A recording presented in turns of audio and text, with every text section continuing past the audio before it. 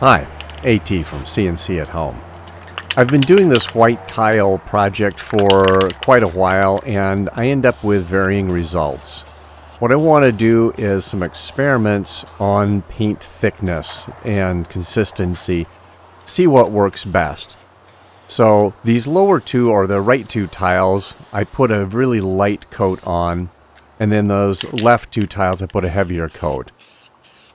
On this one tile I'm putting a second light coat in the opposite direction and both these other tiles I'm putting a heavy coat on in the other direction. Light mist, light mist two directions, heavy two directions. We'll see how it works. As long as I'm playing around with thicknesses of paint, I'm going to try the metal etching compound on a tile. I'm just brushing some on now. Be curious to see how this works. I thought the white paint was hard to see. Since we're doing an experiment on coating thickness, I'm going to give it a, give it a go here with the cold galvanizing compound. We found in the past that we want to make sure to have a light coat of this. Let's just get a light coat of this on here. We'll do our test burn and uh, compare it with the, uh, the white paint method.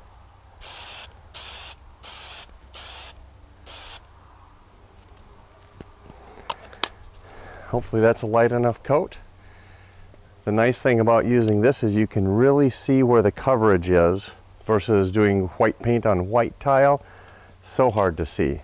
This gray on white tile, nice.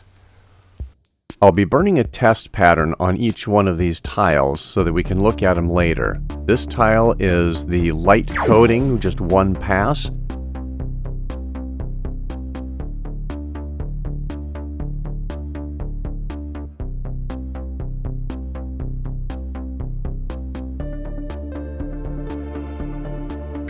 The next tile is also a light coating but two passes, one horizontally, one vertically.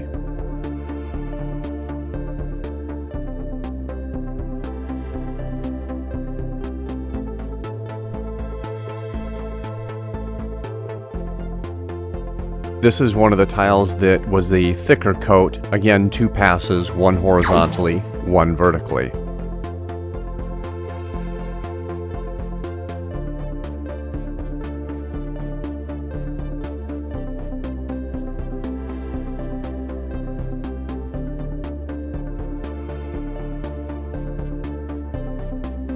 This tile is using the metal etching powder, and uh, I have no clue how this is going to turn out.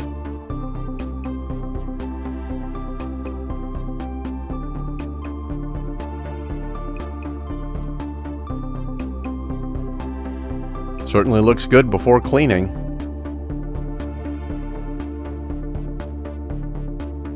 Let's take the tile out of the laser and go rinse it off. Let's see what happens. This is using the magic metal marking compound stuff and I have no idea if it's going to stick to the tile or not. We'll see here. Let's go over to the sink. All right, let's see what happens. Hopefully it doesn't just all wash off.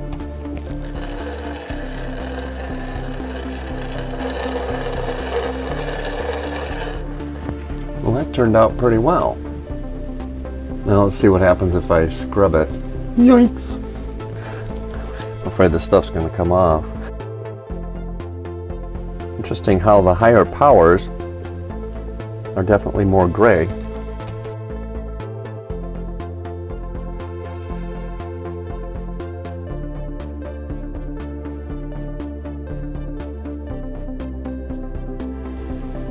Turned out pretty well on the tile. Don't know how durable it is, but it looks good. Now we have the cold galvanizing compound lightly painted tile in the laser and we're going to do a test pattern on this one. Because I know the cold galvanizing compound works a little better, the parameters are a little higher on the, the speed and a good range and power. I've stepped out into the garage and I'm just going to use some of this lacquer thinner to clean off these different tile tests, see which one works the best. I'll get these cleaned up and then we can take a look at them. Yeah, it's starting to bubble up a little bit. You can see how that bubbles up and it just it practically falls right off.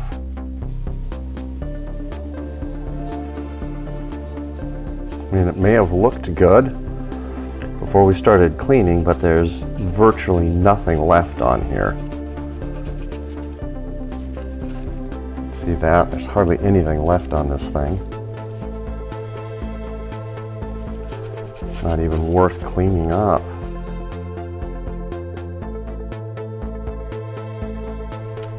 So, take a look at that.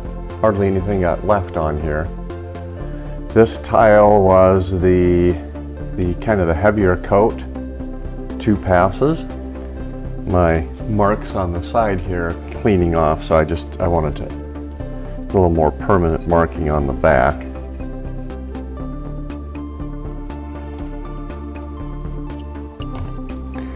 It seems like there's so many variables in this process.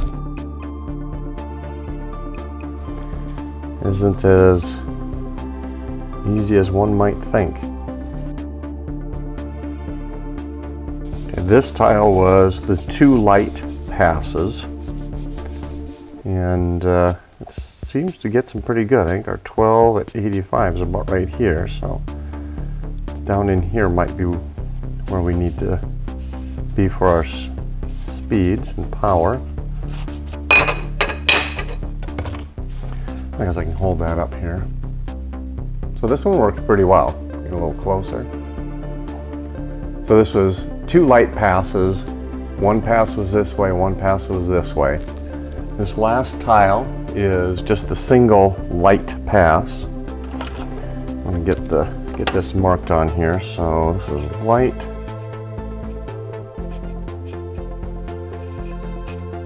Two X. All right, that bubbled up very quickly. Probably because there's less paint that it has to go through. Wipe this stuff right off. It's kind of how it should be. So let's, let's get after this with the towel.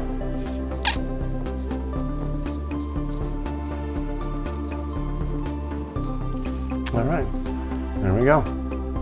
Again, this one worked pretty well. These speeds are much slower than what I normally would burn. We're getting some good results down here in the corner. So this is just a single light pass, which tells me we don't have to have a ton of stuff on here. So you may notice I have two containers. Um, one of them I use for the initial dousing, kind of get it soaked in. And then this other one is just uh, for the big chunks if I scrape it off with my finger or with a um, spatula, but then these big pieces can have somewhere to live. Soon as they dry up, it's fairly easy to clean out and just can throw that away. So kind of the thing you need to do, this is too much paint, obviously nothing, nothing really stuck, it didn't work real well. This was two, you know, nice coats, you know, one horizontally, one vertically across the tile with the can a little bit closer. So there's much more paint getting on here and the results speak for themselves. Too much paint didn't do much. This next one was two light coats, so light coat horizontally, one vertically, and we ended up with some, some pretty good stuff down in here. Again, our normal speed is 12 at 85, so that puts us on this one.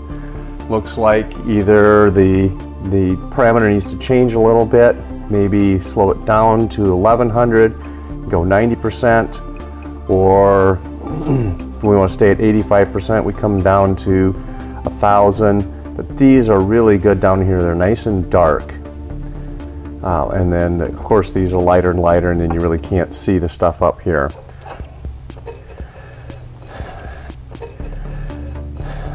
And this one is kind of about the same. This was just the single pass, so it's just a light coat going back and forth in one direction. And so again, at 1000 at 85, it's a little light, but we still have some darker if we slow down a little bit and increase the speed. So somewhere around this amount of paint uh, looks to be about the best. There's an issue if you get too much paint on there. Um, and obviously if you don't get enough on there, you would run into the same thing. But a nice light coat seems to do the trick. So let's get these uh, out into the sun it up. Um, this is our, we want to do a comparison. This is the, the Magic Metal Etching Powder. Again, I don't want to scrub on this because I don't think it's going to adhere like this stuff does. What I'll do is get these out in the sun, let them bake and dry, and I'll bring them inside. We'll look at them under the microscope to see what this stuff looks like close up. Interesting to, to compare these two different uh, techniques. Once I've done that, then maybe I will go after this a little bit more aggressively and see how well it holds up. So let's get these out into the sun and baking for a while. We have the cold galvanizing compound tile burned. So let's go ahead and get that cleaned off. Some people say they can clean it off just with regular water. I've not had luck doing that. So I go ahead and use the lacquer thinner. Soaks in nice and quickly and it does clean off pretty easily. So now that it's soaked in a little bit, see it just wipes right off.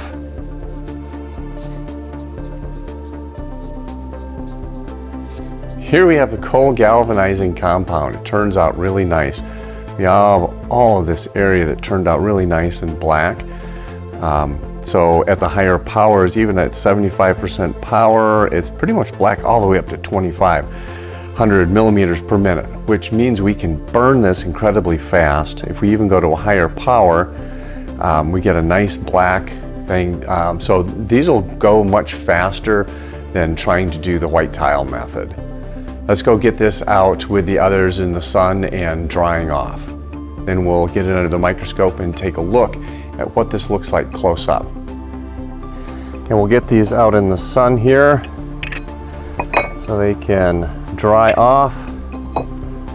It's amazing how porous, especially the back of these tiles, can soak up either the water or the lacquer thinner. Let's get this added into the mix for drying purposes. We'll put it over here. Anyway, we've got some nice black in here. It's as dark as this, but I bet you this will just scrape right off. This will stay on pretty nicely as, as does this. It just, the black is so much blacker and easier, many more options with that cold galvanizing compound. The white paint, a little more finicky. Here are the resulting tiles.